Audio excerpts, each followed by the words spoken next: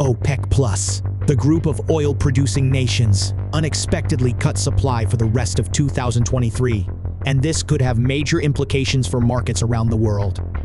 In this video, we are going to cover why OPEC Plus announced the cut and more importantly, what the production cut means for businesses and investing this year. So, let's start with what this supply cut means.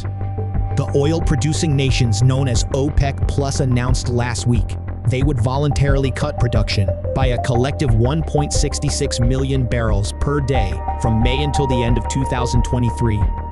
The group's motivation for doing so was to stabilize and support the oil market.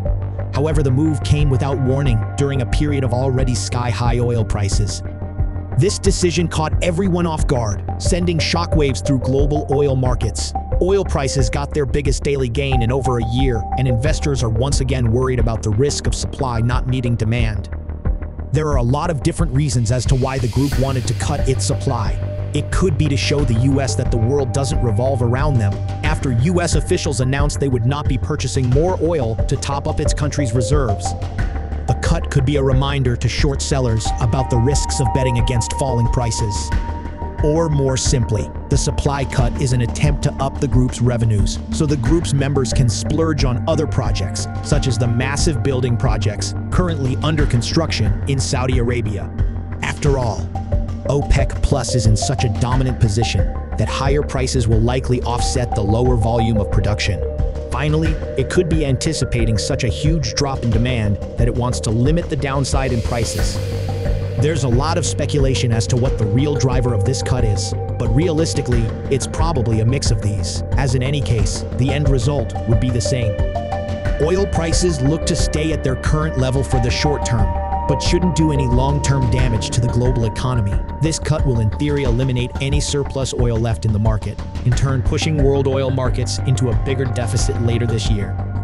This time around, don't expect shale oil producers to come and help us out.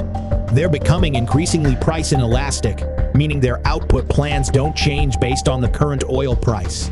And despite all of them having plenty of cash to react to any market changes, they prefer to distribute profits to shareholders instead of reinvesting in production.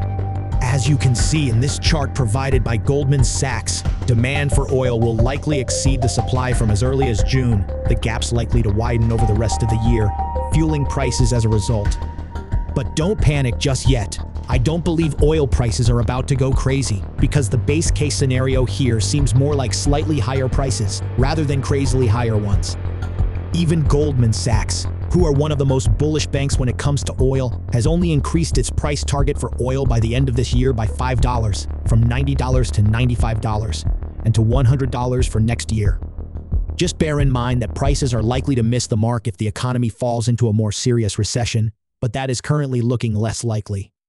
On the whole, though, the upside risks arguably beat the downside ones. OPEC, Plus's, greater than ever pricing power may allow it to intervene in markets to prevent further price falls, almost like creating an OPEC put. Meanwhile, a stronger global economy, combined with the Chinese economy opening back up, would bring about extra demand for fuel, sending prices much higher. Let's take a look at the historical distribution of inflation-adjusted oil prices, making them more comparable over such large time spans. You'll see that you can't underestimate the risk of oil prices moving much higher in a robust economy. As you can see in the chart, oil prices expressed in 2023's dollars have hit the $130 to $140 range almost three times as frequently as they've landed in the $100 to $110 range.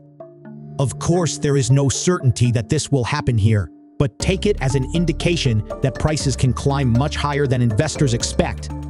So, what does this mean for businesses and investing?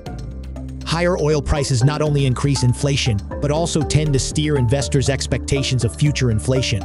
We can hope that the oil price gains set to come this year won't impact the Federal Reserve's fight against inflation, as this would lead to more interest rate bumps. Unfortunately, the threat of higher prices may force the Federal Reserve and European Central Bank to consider more rate increases, even with the fear of a recession and the stress in the banking system being almost at a tipping point.